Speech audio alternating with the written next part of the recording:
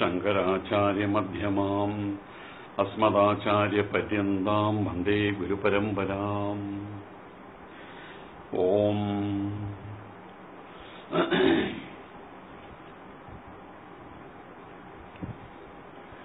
നമ്മൾ ഏഴാമത്തെ ശ്ലോകമാണ് പറയുന്നത് നാലാമത്തെ അധ്യായത്തിൽ.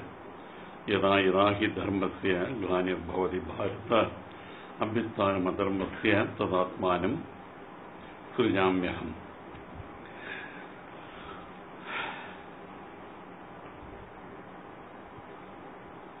നിവർത്തക പ്രവർത്തക ശാസ്ത്രമാണ് ഗീത. അതുപോലെ നമ്മുടെ വേദങ്ങൾ നിവർത്തക ശാസ്ത്രമുണ്ട് മോക്ഷശാസ്ത്രമുണ്ട് പ്രവർത്തക ശാസ്ത്രമുണ്ട് കർമ്മയോഗമുണ്ട്. ഇത് പ്രാണികളുടെ സർവതോമുഖമായിട്ടുള്ള അഭ്യുന്നതിക്ക് വേണ്ടിയിട്ട് പല രൂപത്തിലുള്ള അഭ്യുന്നതിക്ക് വേണ്ടിയാണ് തീർത്തു വെച്ചിട്ടുള്ളത്. അതിന് ഹാനി വരുമ്പോഴാണ് അധർമ്മം പടർന്നു കയറുന്നത് എന്ന് പറഞ്ഞു. ഇവിടെ പറയുകയാണ് അല്ലയോ ഭാരത അല്ലയോ അർജുന ഹേ ഭാരത വർണാശ്രമാദി ലക്ഷണസ്യ പ്രാണിനാം അഭ്യുദയ നിശ്രേയസ സാധനസ്യ ഹാനിഹി. വർണാശ്രമാദി ലക്ഷണമായിരിക്കുന്നത്. അതുപോലെ പ്രാണികളുടെ ലോകരുടെ ഉന്നതിക്കും ഒപ്പം പരമകല്യാണത്തിനും സാധനമായിട്ടുള്ള അതിന് സ്ഥിതിയായിട്ടുള്ള ധർമ്മത്തിന് യാതൊരു കാലഘട്ടത്തിലാണോ കോട്ടം വന്ന് വിടുന്നത്? ആ സമയത്ത് അവതാരം ആ സമയത്താണ് എന്നാണ് പറയുന്നത്. ഇവിടെ വർണാശ്രമാദി ലക്ഷണസ്യ വർണാശ്രമാദി ലക്ഷണമുള്ള പ്രാണിനാം അഭ്യുദയ നിശ്രേയസ നിശ്രേയസ സാധനസ്യ പ്രാണികളുടെ അഭ്യുദയത്തിനും നിശ്രേയസിനും സാധനമായിരിക്കുന്ന എന്ന് പറഞ്ഞു. നമ്മളത് നേരത്തെ പറഞ്ഞതാണ്. ഇതിന്റെ ഉപോദ്ഘാതത്തിൽ വളരെ വിശദമായിട്ട് പറഞ്ഞതാണ്. വീണ്ടും വീണ്ടും ശങ്കരാചാര്യ തന്നെ പറഞ്ഞിട്ട് വീണ്ടും വീണ്ടും സമയം കാലം വരുമ്പോൾ വീണ്ടും വീണ്ടും ഓർമ്മിപ്പിക്കുന്നതാണ് എന്ന് പറഞ്ഞിട്ടുണ്ട്. ആ പ്രക്രിയ തന്നെയാണ് ഇവിടെ ചെയ്യുന്നത്. വീണ്ടും വീണ്ടും ഓർമ്മിപ്പിക്കുകയാണ് ചെയ്യുന്നത്.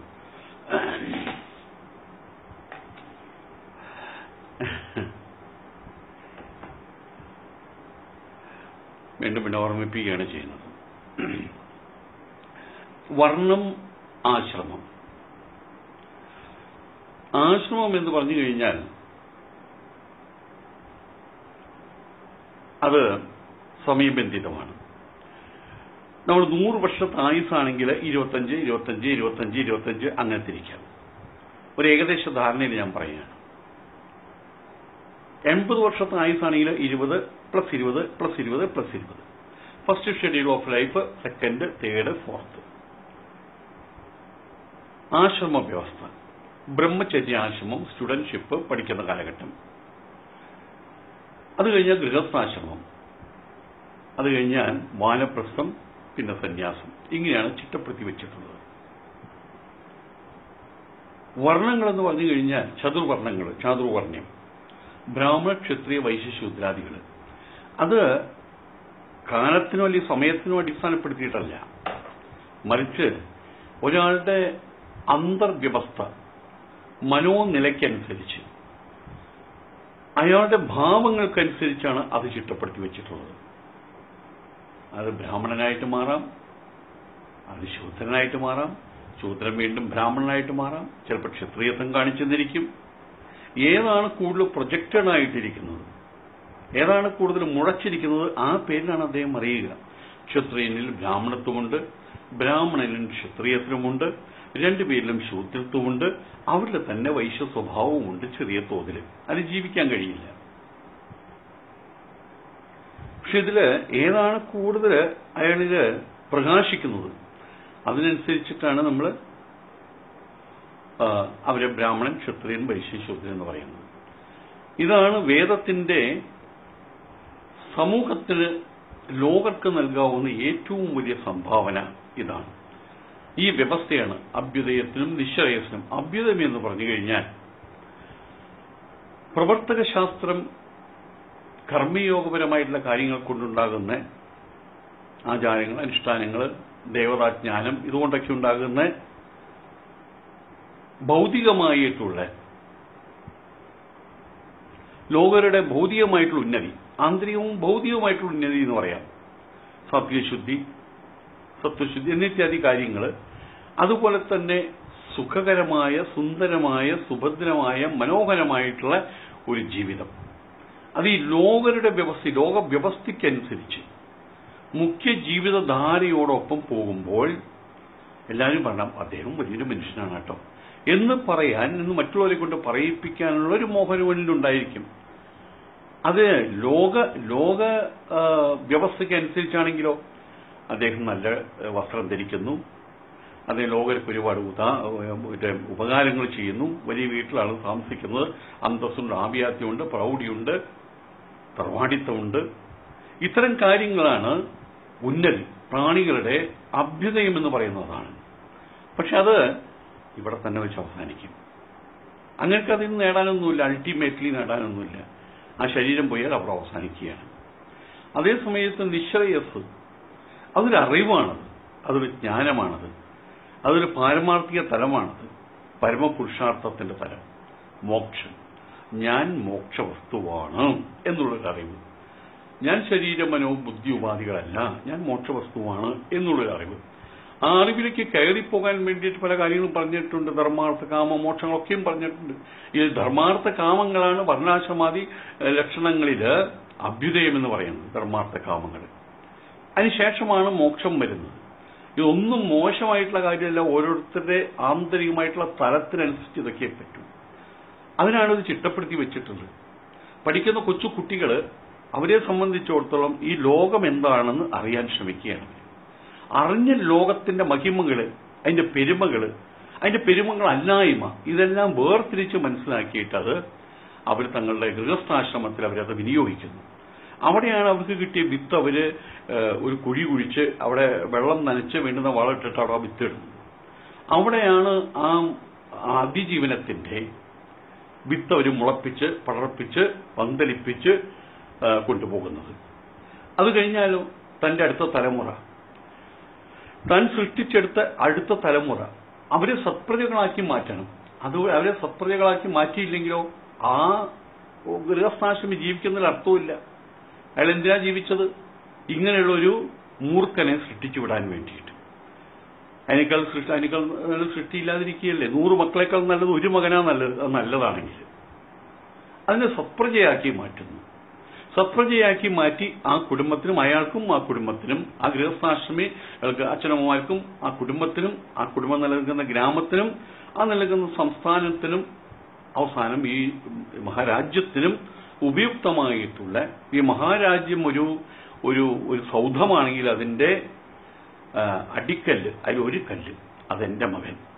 അങ്ങനെയുള്ള സത്പ്രജയാക്കി മാറ്റുകയാണ്. സത്പ്രജയാക്കി മാറ്റുന്നതിന്റെ ഒരു ഒരു ഡെഫിനേഷൻ പറയുകയാണെങ്കിൽ മക്കളെ എക്സിസ്റ്റൻസ് എക്സിസ്റ്റൻസിന് മേലെ നിങ്ങളുടെ എത്തിക്സ് പടർന്നുകയാണ് നിലനിൽപ്പ് അത്യന്താപേക്ഷിതമാണ്. അനുപേക്ഷണീയമാണ് അതിനുള്ള പ്ര- പരിശ്രമങ്ങൾ. പക്ഷേ മൂല്യ തകർച്ച അരുത്. മൂല്യം അതിന്റെ മേലെ നിൽക്കണം.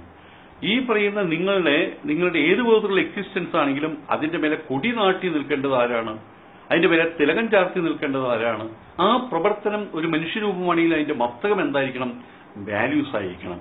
എത്തിക്സ് ആയിരിക്കണം. സത്യസന്ധത എന്നിത്യാദി കാര്യങ്ങൾ അദ്വൈതത മൈത്രി കരുണ ഒരുപാട് കാര്യങ്ങൾ പറയുന്നുണ്ട്. അതായിരിക്കണം. ഇങ്ങനൊരു കുട്ടിയെ വാർത്തെടുത്ത് കഴിഞ്ഞ് ആ കുട്ടിയെ ആ കുട്ടിയുടെ ജീവിതത്തിലേക്ക് സ്വാതന്ത്ര്യമായിട്ട് വിട്ട് ഇദ്ദേഹം വാനപ്രസ്ഥത്തിലേക്ക് കടക്കുന്നു. വാനപ്രസ്ഥം എന്ന് പറയുമ്പോൾ താൻ താനായിട്ട് തീർക്കുന്ന ഒരു വൽമീകത്തിനകത്ത് ഒരു പുറ്റിനകത്ത് അദ്ദേഹം. വീടിനകത്ത് തന്നെയാണ്. പക്ഷെ അല്പവസ്ത്രധാരിയായിട്ട് അല്പ അല്പ അല്പം കാര്യങ്ങൾ മാത്രം ഭുജിക്കുന്ന ഇന്നതേ ഞാൻ ആഹാരം കഴിക്കുള്ളൂ എന്നൊന്നും ഇനിയില്ല ആരും ബുദ്ധിമുട്ടിക്കാതെ തനിക്ക് വേണ്ടുന്ന അതിലോലമായിട്ടുള്ള കർമ്മങ്ങളും ചെയ്തുകൊണ്ട് അദ്ദേഹം ജീവിക്കാനുള്ള ചെയ്യുന്നത് അതിനാണ് വാനപ്രസവം എങ്കിൽ പോലും ഒരു നോട്ടം തന്റെ മക്കളിലേക്കുണ്ട്. ഒരു നോട്ടം ദേ ഈ വീട് ഞാൻ വിടാൻ പോവുകയാണ് ആ ലോകത്തേക്കുണ്ട്. അപ്പൊ രണ്ട് ഭാഗത്തേക്കും കണ്ണു നട്ടിരിക്കുന്ന ഒരു വലിയൊരവസ്ഥയാണ് വാനപ്രസ്ഥയുടേത്. അയാളൊരിക്കലും തങ്ങളുടെ മകൾ മക്കൾ അവരുടെ ആ മക്കളുടെ കാലിന്റെ ഇടയിൽ ഒരു കയറിട്ട് കെട്ടി അല്ലെങ്കിൽ ഒരു കോൽ ഒരു കയറിട്ട് കെട്ടി അങ്ങോട്ടും ഇങ്ങോട്ടും നടക്കാൻ കഴിയാത്ത രീതിയിൽ കൂച്ചു വരങ്ങിടുക എന്ന് പറയും. ആനയ്ക്ക് കണ്ടിട്ടില്ലേ? മുൻകാലുകൾ അതിന് കൂട്ടി കെട്ടിയിട്ടുണ്ടാവും. അതിന് ചെറുതായിട്ട് ഏകദേശം ഒരു അഞ്ച് ഇഞ്ചൊക്കെ സ്റ്റെപ്പ് വെക്കാൻ പറ്റുള്ളൂ. ഓടിപ്പോകാതിരിക്കാൻ വേണ്ടിയിട്ടാണ്. ഓടിപ്പോയ കൊമ്പ് കുത്തി വീഴും. അതിനറിയാം. അതുകൊണ്ട് പേടിച്ചിട്ടോ പിന്നെ നടക്കുക. പിന്നെ മക്കളുടെ ഇടയിൽ കൂച്ചുവിലങ്ങായിട്ട് കിടക്കാതെ അവരെ സ്വതന്ത്രരായിട്ട് വിടുകയും അവരുടെ അവരുടെ കയ്യിൽ നിന്നുള്ള ഒരു ഒരു ഒരു ഒരു കടിഞ്ഞാൻ തന്റെ കയ്യിലിരിക്കുകയും ചെയ്യുന്നു. ആ കടിഞ്ഞാൻ എങ്ങനെയാണ്? അവശ്യം ആവശ്യമായിട്ട് വരുമ്പോൾ മക്കളുടെ ആവശ്യപ്രകാരം മക്കൾക്ക് തന്റെ എക്സ്പീരിയൻസ് പകർന്നു കൊടുക്കുന്നു. ഉപദേശമല്ല. അതിനു വേണ്ടിയിട്ട്. ഇതെല്ലാം കഴിഞ്ഞ് സ്ഥാണു നിഖലന സ്ഥാണു നിഖലന സ്വഭാവത്തോടുകൂടി മക്കളെ ആ, മക്കളുടെ ഓരോ കർമ്മങ്ങളെയും സ്ഥാണു ഉറപ്പിക്കുക ഉറപ്പിക്കുമല്ലോ തൂണ്. അത് മേലോട്ടെടുത്ത് നന്നായിട്ട് കുത്തി ഒന്ന് ആട്ടി പിന്നെ ഒന്ന് കുത്തി ഒന്ന് ആട്ടി പിന്നെ വെള്ളം ഒഴിച്ച് പിന്നെ കല്ലിട്ട് കുത്തി വീണ്ടും മേലോട്ട് എടുത്തൊന്ന് ആട്ടി പിന്നെ അവസാനം ആട്ടാൻ പറ്റാണ്ടാവും പത്ത് പേര് പിടിച്ചാലും മാറ്റാൻ പറ്റാണ്ടാവും. അപ്പൊ അവിടെ പിന്നെ കറക്റ്റായി. ഇതുപോലെ തന്റെ അടുത്ത തലമുറയെ അതുപോലെ ഉറപ്പിച്ചു നിർത്തിയ ശേഷം അദ്ദേഹം എന്ന നീക്കുമായിട്ട് അദ്ദേഹം വടക്കോട്ട് യാത്രയാകും മഹാപ്രസ്ഥാനം. അതാണ് സന്യാസം. ഗൃഹസ്ഥാശ്രമത്തിൽ കുടുങ്ങി മരണസമയത്ത് ഈശ്വര ഞാൻ പോവുകയാണല്ലോ ഞാൻ എന്ത് ചെയ്യും എന്റെ ബാങ്ക് അക്കൗണ്ട് എന്നുള്ള വിലാപങ്ങൾ പും നരകത്തിൽ പെടാതെ നേരത്തെ തന്നെ അദ്ദേഹം അദ്ദേഹമായിട്ട് അദ്ദേഹത്തിന്റെ ശരീരത്തെ മനസ്സുകൊണ്ട് ഇല്ലാതാക്കുകയാണ്. അതാണ് മരണം. അങ്ങനെ ഒരു മരണമുണ്ട്. അദ്ദേഹം അദ്ദേഹമായിട്ട് തന്നെ മരിക്കുന്നു. മറ്റുള്ള മരണം പുറത്തുനിന്ന് വരുന്നൊരു മരണം ഈശ്വരൻ ഞാൻ മരിക്കൂ എന്റെ ഈ രോഗം കൊണ്ട് ഞാൻ രക്ഷപ്പെടുവോ എനിക്ക് ഡോക്ടറെ മാറ്റിത്ത എന്നുള്ള വേവലാതിയൊന്നും അദ്ദേഹത്തിനില്ല. അദ്ദേഹം അദ്ദേഹമായിട്ട് ആ അനിവാര്യമായിട്ടുള്ള ഉപേക്ഷിക്കാൻ പറ്റാത്ത ആ പ്രസ്ഥാനത്തിലേക്ക് മരണം എന്ന പ്രസ്ഥാനത്തിലേക്ക് അദ്ദേഹം തന്നെ തന്നെ വിട്ടുകൊടുക്കുകയാണ്.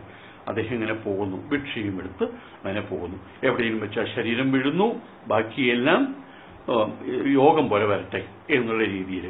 പിന്നനെയുള്ള വർണലക്ഷണങ്ങൾ അതുപോലെ തന്നെ ബ്രഹ്മചര്യാദി ആശ്രമ ലക്ഷണങ്ങൾ നമ്മൾ പറഞ്ഞു ബ്രഹ്മചര്യാശ്രമം ഇതിന്റെ കാര്യങ്ങൾ ബ്രഹ്മചര്യാശ്രമം ഗൃഹസ്ഥാശ്രമം പറഞ്ഞു. പിന്നെ വർണങ്ങൾ അതാണ് ഇപ്പൊ പറഞ്ഞത്. വർണങ്ങൾ എന്ന് പറഞ്ഞു കഴിഞ്ഞാൽ ബ്രാഹ്മണാദി വർണങ്ങൾ ബ്രാഹ്മണ ക്ഷത്രിയ വൈശ്യശൂദ്രാദികൾ ചിന്തിക്കുന്ന ഒരാൾ അയാൾക്ക് ചിലപ്പോൾ ആരോഗ്യം ഉണ്ടാവില്ല. ചിന്തിക്കുന്നു കാര്യങ്ങളെക്കുറിച്ച് അറിയുന്നു പഠിക്കുന്നു പഠിപ്പിക്കുന്നു. എന്തൊരു സംശയമുണ്ടെങ്കിലും ഏകാദശി എന്ന ദ്വാദശി എന്ന എന്നാ കൃഷി ചെയ്യേണ്ടത് ഏത് കൃഷിയാണ് ഇപ്പോൾ ഇടേണ്ടത് മഴ വരുവോ വരില്ലേ കർക്കിടമാസത്തെ സ്ഥിതി എന്താണ് വാവ് എന്നിത്യാദി കാര്യങ്ങളെല്ലാം. അതായത് അദ്ദേഹത്തിന്റെ കോഗ്നേറ്റീവ് പവർ അത് ഉപയോഗിച്ചുകൊണ്ട് അപ്പോൾ അതിന് അദ്ദേഹം അദ്ദേഹം ഒരുപാട് ലേണഡ് ആയിട്ടുള്ള പേഴ്സണാലിറ്റി ആയിരിക്കും. അദ്ദേഹത്തെയാണ് ബ്രാഹ്മണൻ എന്ന് പറയുന്നത്. അല്ലാതെ ഇന്ന് നമ്മൾ കാണുന്ന രീതിയിലുള്ള ജാതി ബ്രാഹ്മണത്വമല്ല ഇവിടെ പറയുന്നത്. ഇവിടെ ഗുണബ്രാഹ്മണത്വമാണ് ഇവിടെ പറയുന്നത്. ജാതി ബ്രാഹ്മണ സ്വഭാവമല്ല. അങ്ങനെയുണ്ട്. ജാതി ബ്രാഹ്മണന്മാരുണ്ട്. ഉദാഹരണം പറയുകയാണെങ്കിൽ നമ്മൾ പണ്ഡിതർ എന്ന് പറയാറുണ്ട്. അങ്ങനെ ഒരു ജാതിയുണ്ട് ഇവിടെ. അതേസമയത്ത് സ്കോളർ എന്നുള്ള അവസരത്ത് പണ്ഡിതർ എന്ന് പറയാറുണ്ട്. ജവഹർലാൽ നെഹ്റു പണ്ഡിറ്റ് പണ്ഡിതർ എന്ന് പറഞ്ഞ ഒരു ജാതിയിൽപ്പെട്ട ആളാണ്. അത് കാശ്മീരിലുള്ള ഒരു ജാതിയാണ്. ഇന്നും വേണ്ടത്ര ആൾക്കാരുണ്ട്. അവിടെ കഷ്ടപ്പെട്ട് എഴുത്തും വായന അറിയാത്ത ആൾക്കാരുണ്ട്. അവരെയും പണ്ഡിതരെന്നാ പറയാ. അത് ജാതി പണ്ഡിതരാണ്. ഗുണപണ്ഡിതരുണ്ട്. അത് പഠിച്ചറിവുള്ള ആളുകൾ. ഇവരെ ഗുണബ്രാഹ്മണന്മാരുടെ കാര്യം അവിടെ പറയുന്നത് വെറുതെ ബ്രാഹ്മണ സംജ്ഞ തന്റെ അപ്പുറത്തും ഇപ്പുറത്തും കയറ്റി വെച്ച ബ്രഹ്മശ്രീ എന്ന് പറഞ്ഞ് നടക്കുന്ന സാധനങ്ങളുടെ കാര്യമെല്ലാം ഇവിടെ പറയുന്നത്. അപ്പോൾ ഇവിടെ ഈ രീതിയിൽ ചിന്തിക്കുന്ന ആളുകൾ അവരാണ് ബ്രാഹ്മണന്മാരായിട്ടുള്ളത്. ബ്രാഹ്മണോ ഓസ്യ മുഖമാസീത്. ബാഹൂരാജന്യകൃത ഓരോ തദസ്യ ദ്വേഷ്യ പദ്യാഗം ശൂദ്രോ അജായത് എന്ന് വേദത്തിൽ പറയുന്നുണ്ട് പുരുഷ സൂക്തത്തിന്റെ ഒരു ഭാഗത്ത് പറയുന്നുണ്ട്. അതിൽ പറയുന്നത് നമ്മളുടെ ഈ തലയുടെ ഭാഗം അവിടെ എല്ലാ ജ്ഞാനേന്ദ്രിയങ്ങളും ഇരിക്കുന്നു. ആയതുകൊണ്ട് തന്നെ എല്ലാ ജ്ഞാനേന്ദ്രിയങ്ങളുടെയും പ്രസൻസ് അവിടെയുണ്ട്. ആയതുകൊണ്ട് തലയായിരിക്കട്ടെ ബ്രാഹ്മണൻ എന്ന് പറഞ്ഞു കഴിഞ്ഞാൽ അത് വലിയൊരു കാര്യം കാര്യമോശം എന്നൊന്നും അങ്ങനെ വിചാരിക്കേണ്ട. അതിപ്പോ തൽക്കാലം ഇപ്പൊ ആ വിഷയത്തിന് നമ്മൾ കടക്കുന്നില്ല. ഇപ്പൊ ഇങ്ങനെ ഇവിടെ തരം തിരിച്ച് ചിട്ടപ്പെടുത്തി വെച്ചിരിക്കുകയാണ്. അത് ബ്രാഹ്മണൻ ക്ഷത്രിയൻ. ക്ഷത്രിയൻ തന്റെ ബാഹുബലം കൊണ്ട് തന്റെ കുടുംബത്തെയാകട്ടെ അല്ലെങ്കിൽ നാടിനെയാകട്ടെ അതിന് ബാഹുബലം കൊണ്ട് ധർമ്മത്തെ രക്ഷിക്കുന്നു. ബ്രാഹ്മണൻ തന്റെ ബുദ്ധി കൊണ്ട് തന്റെ അന്തർവിഭവങ്ങളെ കൊണ്ട് ധർമ്മത്തെ രക്ഷിക്കുന്നു. വൈശ്യരെങ്ങനെയാണ്? അവർ കൃഷി ഗൗരക്ഷ വാണിജ്യം കൃഷി ഗോരക്ഷ പശുക്കളുടെ രക്ഷ അതുപോലെ വാണിജ്യം എന്നിത്യാദി കാര്യങ്ങളിൽ അവിടെ ഇല്ലാത്ത കാര്യങ്ങൾ ഇവിടുന്ന് അങ്ങോട്ട് കൊടുക്കുന്നു. ഇവിടെ ഇല്ലാത്ത കാര്യങ്ങൾ അവർ ഇങ്ങോട്ട് കൊണ്ടുവരുന്നു അങ്ങനെ ട്രാൻസാക്ട് ചെയ്ത് അവിടുത്തെ ആളുകളുടെ ഭൗതികമായിട്ടുള്ള ആവശ്യങ്ങളെ നിലനിർത്തുന്നതിൽ താല്പര്യപ്പെടുന്ന ആളുകൾ. അവരാരോ? അവരാണ് ആ താല്പര്യമുള്ള ആളുകൾ. ആ താല്പര്യം ഉള്ളകത്തിൽ നിറഞ്ഞു നിൽക്കുന്ന ആൾക്കാരെയാണ് വൈശ്യന്മാരെന്ന് പറഞ്ഞിട്ടുള്ളത്. അങ്ങനെ വൈശ്യന്മാര് ശൂദ്രൻ എന്ന് പറഞ്ഞു കഴിഞ്ഞാൽ ഈ രീതിയിൽ തനതായ ഒരു പേഴ്സണാലിറ്റി വളർത്തി വളർത്തിയെടുക്കാൻ കഴിയാത്ത ആളുകൾ എങ്കിൽ പോലും അവർ ധർമ്മസേവകന്മാരാണ്. എങ്ങനെയാണ്? അവർക്കും കർമ്മമുണ്ട്. മറ്റുള്ളവർ ചെയ്യുന്ന കർമ്മത്തിനെ അവർ സപ്പോർട്ട് ചെയ്യുന്നു. അവർ സഹായിക്കുന്നു. വീട്ടിൽ ബ്രാഹ്മണനായിട്ടുള്ള ചേട്ടനുണ്ടെങ്കിൽ അവനെ സഹായിക്കുന്നു. ക്ഷത്രിയനായിട്ടുള്ള ചേട്ടനുണ്ടെങ്കിൽ രാത്രി കൃഷിയിടങ്ങളിലോട്ട് കാവലിരിക്കാൻ അയാളുടെ ഒപ്പം പോകുന്നു. വൈശ്യനായിട്ടുള്ള സഹോദരനുണ്ടെങ്കിൽ അയാളുടെ കൃഷി കാര്യങ്ങൾക്കും മറ്റുള്ള കാര്യങ്ങൾക്കും അങ്ങോട്ട് ഓടാനോ ഇങ്ങോട്ട് ഓടാനോ കൃഷി ചെയ്യുന്ന കാര്യത്തിൽ കാളെ മേയ്ക്കാനും കാളെ തേച്ച് തേച്ചു കഴുകാനും വെള്ളം വെള്ളച്ചാലിൽ കീറി വെള്ളം അങ്ങോട്ടും ഇങ്ങോട്ടും ഒഴുക്കി വിടാനും അതിന് അദ്ദേഹം സഹായിക്കുന്നു. ഈ നാല് പേരും ഒരു കുടുംബത്തിന് ആവശ്യമാണ്. അപ്പൊ ഇങ്ങനെ ബ്രാഹ്മണാദി മറ്റേ വർണങ്ങളും ബ്രഹ്മചര്യാദി ആശ്രമങ്ങളും അത് തീർത്തു വെച്ചിട്ടുള്ള എന്തിനു വേണ്ടിയിട്ടാണ്? ജനജീവിതം അല്ലെങ്കിൽ ലോകരുടെ പരമകല്യാണത്തിനും ഉന്നതിക്കും വേണ്ടിയിട്ട്. ഇഹലോക ജീവിതത്തിലെ കല്യാണമാണ് അവിടുത്തെ ഭൗതികമായിട്ട് ഉന്നതി. പരമകല്യാണം എന്ന് പറഞ്ഞാൽ മോക്ഷമാണ്. ഇതിനു വേണ്ടിയിട്ടാണ് ചിട്ടപ്പെടുത്തി വെച്ചിട്ടുള്ളത്. ആ ചിട്ടപ്പെടുത്തി വെച്ചിട്ടുള്ള കാര്യങ്ങൾ എങ്ങനെയാണ്? നമ്മളൊരു ലൈബ്രറിയിൽ പോകുന്ന സമയത്ത് അവിടെ പുസ്തകങ്ങൾ അടക്കി വെച്ചിട്ടുണ്ടായിരിക്കും. അതെങ്ങനെയാ? ആ എന്ന പേരുള്ള പുസ്തകങ്ങൾ. ആ എന്നുള്ള നാമത്തിൽ തുടങ്ങുന്ന പുസ്തകങ്ങൾ കൂടെ ഒരു ഭാഗത്ത് വെച്ചു. അല്ലെങ്കിൽ എ ഇംഗ്ലീഷ് ആണെങ്കിൽ എ ബി എന്ന് പറയുന്ന അപ്പുറത്തെ അലമാരിയിൽ വെച്ചു. സി എന്ന് പറഞ്ഞ അതിന്റെ അടിയത്തെ അടക്കിൽ വെച്ചു. പക്ഷേ ഈ കുട്ടികളും മറ്റുള്ള ആൾക്കാരും പുസ്തകം എടുക്കാൻ വരുന്ന ആൾക്കാർ അവിടെ നിന്ന് എടുക്കുന്ന പുസ്തകം ഇവിടെ വെക്കും ഇവിടെ നിന്നുള്ള പുസ്തകം അവിടെ വെക്കും. അങ്ങനെ കാലക്രമേണ എന്തുണ്ടാകുന്നു? വീണ്ടും ഒരു ചെയ്യേണ്ട ആവശ്യം വരും. വീണ്ടും ഒരു ഇളക്കി പ്രതിഷ്ഠയുടെ ആവശ്യം വരും. അപ്പൊ അന്ന് ലൈബ്രറിയുടെ മുമ്പിൽ എഴുതി വെക്കും രണ്ട് ദിവസം ഇവിടെ പുസ്തക വിതരണം ഉണ്ടായിരിക്കുന്നതല്ല എന്ന് പറഞ്ഞ് വീണ്ടും അത് യഥാസ്ഥാനത്ത് അടക്കി വയ്ക്കും അതാണ് ധർമ്മത്തിന് യാതൊരു കാലഘട്ടത്തിലാണോ കോട്ടം വന്ന് ഭവിക്കുന്നത്. ആ സമയത്ത് നമ്മൾ സ്ഥാപനങ്ങളൊക്കെ ഒന്ന് പൂട്ടിയിട്ടിട്ട് അത് വീണ്ടും പഴയ പോലെ അടക്കും ചിട്ടയുള്ളതാക്കി തീർക്കുക. ആ രണ്ട് ദിവസമാണ് അവതാരത്തിന്റെ ദിവസങ്ങൾ അതിനു വേണ്ടിയിട്ടാണ് അവതാരം ഉണ്ടാകുന്നത്. അതുപോലെ തന്നെ ഇവിടെ പറയുകയാണ് ഈ വർണാശ്രമാദി ലക്ഷണങ്ങൾക്ക് എപ്പോഴാണോ ഹാനി സംഭവിക്കുന്നത്? അങ്ങനെ ഹാനി സംഭവിച്ചു കഴിഞ്ഞാൽ അപ്പൊ തന്നെ ഉണ്ടാവുന്ന ഒരു കാര്യമുണ്ട്. ധർമ്മത്തിന് ഹാനി സംഭവിച്ചോട്ടെ. ധർമ്മത്തിന് ഹാനി സംഭവിച്ചു. അതോടൊപ്പം അവിടെ മനുഷ്യന്മാരുള്ളപ്പോഴാണ് ധർമ്മത്തിന് ഹാനി സംഭവിക്കുക.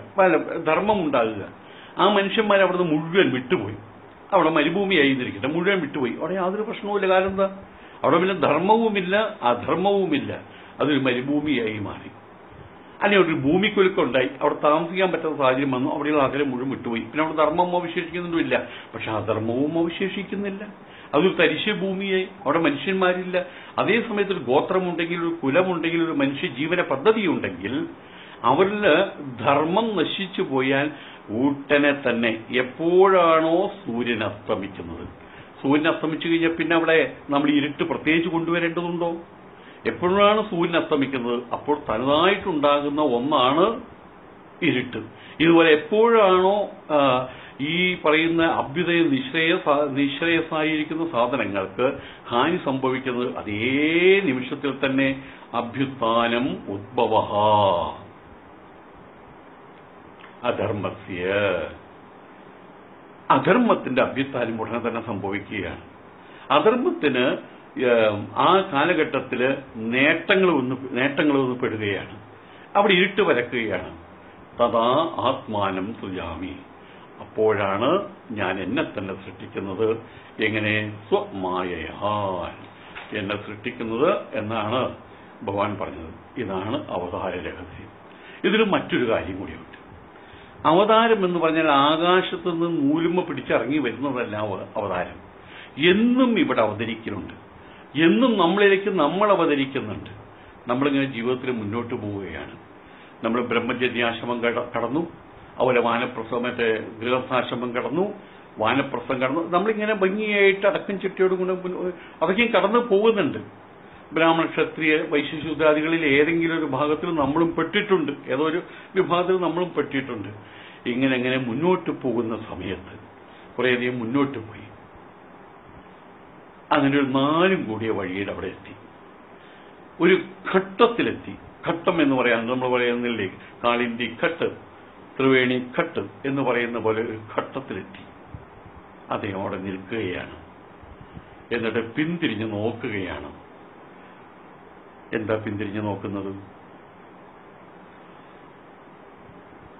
ഓം പൂർണമത പൂർണമിതം പൂർണാത് പൂർണമുദച്യതേ പൂർണസ്യ പൂർണമാതായ പൂർണമേവാവശിഷ്യതേ. ഓം ശാന്തി ശാന്തി ശാന്തി. ഓം ശ്രീ ഗുരുഭ്യോ നമ. ഹരി ഓം